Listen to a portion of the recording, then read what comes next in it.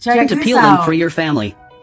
1. For grapes, as shown in the video, use a toothpick to swipe left and right, and you can easily extract Wow. the flesh. 2. For a grapefruit, cut off the top and bottom, then thinly slice off a bit of the pulp. Try that one. It has a thick skin, so make a small cut in the middle.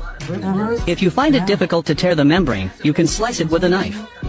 This way, you can easily get a plate full of fruit flesh. No 3. For a mango, make a circular cut in the middle with a knife, then gently twist with both hands, and the flesh will come out. Scooping it out with a spoon to wow, eat is simply too satisfying. gonna 4. For dragon fruit, cut off the top and bottom, then cut it in half. Make 3 vertical cuts into the flesh and then 2 horizontal cuts. Finally, make a circular cut along the skin, and you can enjoy it piece by piece with a fork. 5. For an orange, cut off both ends, cut it in half, and then slice it.